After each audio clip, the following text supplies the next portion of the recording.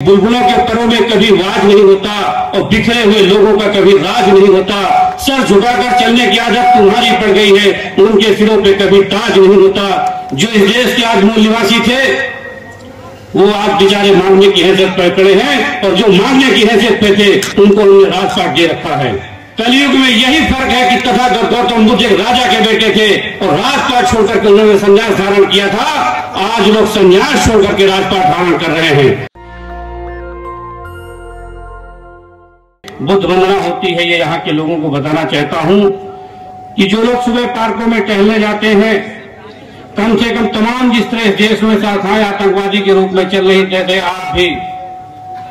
जो तथागत गौतम बुद्ध की धरती यहाँ बहुत दूर नहीं है, और तथागत गौतम बुद्ध की जो हम लोगों ने यहाँ फ़ोटो तो बाबा साहब की लगाई है कम से कम हम एक झंडा जब सुबह पार्कों में टहलने जाते हैं तो पंचशील का एक झंडा गाड़ करके कम से कम बुद्ध की बात को उस बात में सुबह कम से कम दस मिनट आधे घंटे, एक घंटे उस पर चर्चा करें और उस पर विचार करें कि बुद्ध कौन थे। दुनिया के तमाम विद्वान आज तक के गौतम बुद्ध पे रिसर्च चल रहा है। वो ढाई हज़ार वर्ष पहले कौन ऐसे व्यक्ति थे? कौन ऐसे साइंटिफिक व्यक्ति थे जिसमें लगातार रिसर्च चल रहा उनसे बड़ा कोई साइंटिफिक नहीं हुआ। हम उस दिशा में जा रहे थे मैंने बताया कि शंभू की एक बावन बेसराम का, लखनऊ काशीराम सांस्कृतिक भवन में कार्यक्रम चला उसको सुबह उन्होंने पहले ज्वाइन किया, वहाँ का अपना निपटाया। निपटाने के बाद तब हम लोग अयोध्या की धरती पर ताकीद के लिए आए। और ये शहीदों के साथ से जो प्रोग्राम रखा गया, ये बहुत ही अच्छा है। अभी हमसे पहले एक वक्ता के रूप में माने माननीय भंते जी बोल रहे थे, उन्होंने कहा था ये तमाम किसी साथी ने हमारे, मैंने देखा वहाँ से गेट से चल करके यहाँ तक। तमाम हमारे महापुरुषों की फ़ोटो लगी है और उनको एक एक फ़ोटो को इकट्ठा करने का मैं उनको बहुत बहुत साधवाद बोलता हूँ। और ये ज़िम्मेदारी समाज की किसी एक व्यक्ति की नहीं होती है दोस्तों। ये एक व्यक्ति की ज़िम्मेदारी को समझ करके जो आज हम, जिनका इस देश में राजपाट था, जिनका ढाई हज़ार वर्ष पहले पूरा साम्राज्य था जिसको चंद्रगुप्त मौर्य के से कहा जाता था, अशोक सम्राट का राज था। तमाम हमारे देश में दृष्टियाँ थी, जो हम पुणे भारत की सोने चिड़िया कहा जाता था। विश्व गुरु कहा जाता था वो भारत, जो इस देश के आज मूल निवासी थे। वो आज बेचारे मांगने की हैसियत पर खड़े हैं और जो मांगने की हैसियत पे थे, उनको उन्होंने राजपाट दे रखा है। उसकी सबसे बड़ी कमज़ोरी हमारे पास ये थी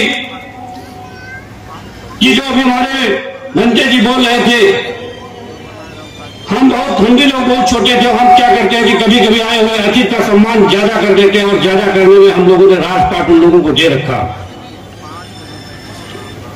और राजपाट आज दे रखा, आज जो इस देश के जो शासक थे, वो आज भिखारी के तौर पे खड़े हैं, मांगने के तौर पे खड़े हैं।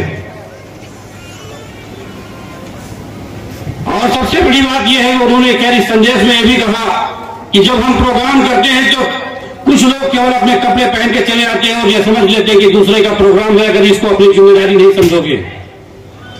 जाते समय कम से कम इस संकल्प लेना चाहिए कि जिस भाई ने, जिस बेटे ने, जिस बुज़ुर्ग ने, जिस माताओं ने, जिस बहनों ने इस संघर्ष को, इस प्रोग्राम को रचा से जाते समय कम से पूछ ले कि अगर कुछ घटा हो तो हमारा भी अंश मिला लीजिए।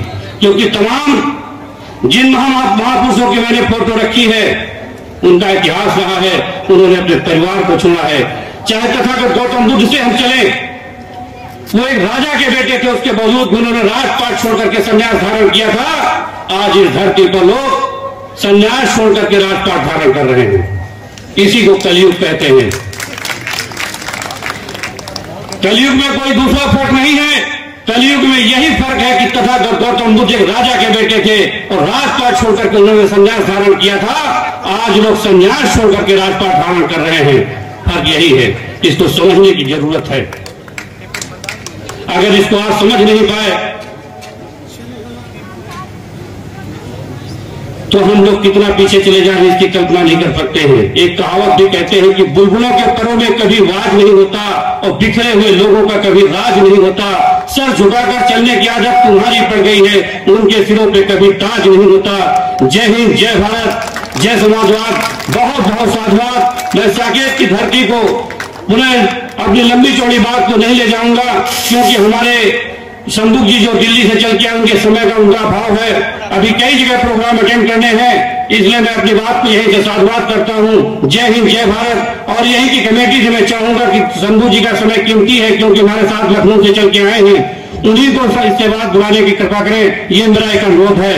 और बात को लंबी चौड़ी ही नेशनल दस्तक की आपसे गुजारिश है कि अगर इसको बचाना चाहते हैं तो नेशनल दस्तक को सब्सक्राइब करने के लिए रेड कलर के सब्सक्राइब बटन को दबाएँ, फिर बेल आइकन की घंटी दबाएँ। नेशनल दस्तक को बचाने के लिए बहुत ज़रूरी है कि हर खबर को शेयर करें, लाइक करें, कमेंट ज़रूर करें।